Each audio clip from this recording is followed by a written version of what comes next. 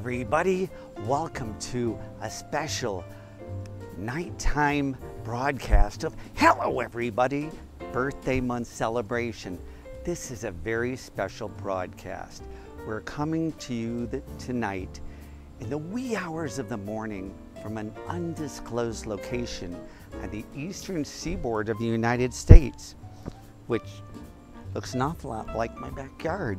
Anyway, um, we're here and we just want to make sure everyone was aware tonight and going through all day tomorrow and tomorrow evening is the magnificent Perseid meteor shower that is going to light up the skies around the world for every hour, every hour, 200 meteors are going to be shooting across the sky, lighting it up and giving you a display that you won't see again for a long, long time.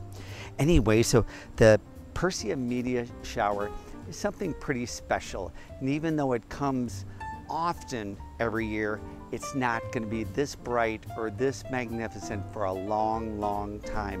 So we wanted to make sure you didn't miss it because you know we're very it's very important to us that you keep up on all the latest things. So, well, it is always during birthday month. I'm glad our, our director has asked that question, but I don't think it should take away from birthday month. I kind of think of it as a celebration of birthday month for the whole world to enjoy. I hope you will think of it that way too. You know, I just want to also bring in one small thing. Um, when you see these stars shooting across the sky. I hope it all reminds us of when we were children and when we were kids and you'd see a shooting star and maybe your mom would tell you, like my mom told me, make a wish because it's important and that wish will be granted. So look to the skies and, and look for that shooting star and make a wish.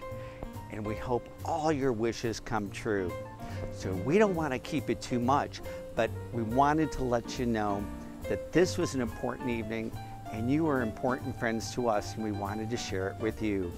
So on behalf of all of us here at the studio and at the outdoor production, we wanted to say from our house to your house, thank you so much for being here and get outside and look at the sky and make a wish on those shooting stars. And always remember, so long, suckers! And remember, we're looking forward to seeing you all tomorrow. We'll share stories of the shooting stars. Thanks for being here.